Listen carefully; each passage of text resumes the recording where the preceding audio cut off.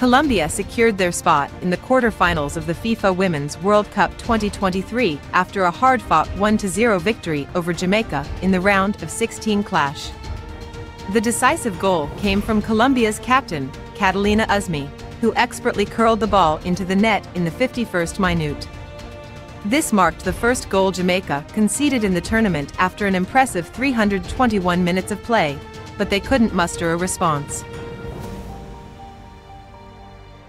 This historic win propels Colombia into the last eight of the Women's World Cup for the first time in their history.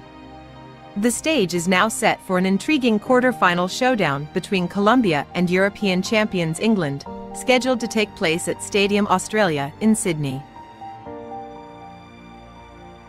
The match showcased the emergence of Colombia's young talents, with both sides attempting to rewrite their football history.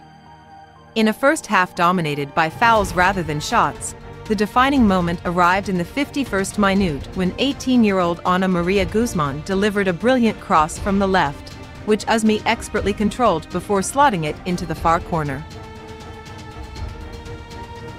Jamaica, known for their sturdy defense throughout the tournament, struggled to find their attacking rhythm against Colombia. Despite their efforts, including a close-range header that struck the post by Jody Brown, they were unable to break through Colombia's resolute defense. Colombia's victory was a testament to their youthful energy and determination, showcasing their ability to overcome challenges and secure a historic quarterfinal berth. As Colombia celebrates their achievement, the stage is now set for a captivating quarterfinal clash between Colombia and England. The match promises to be a thrilling encounter as both teams vie for a spot in the semifinals of the Women's World Cup 2023.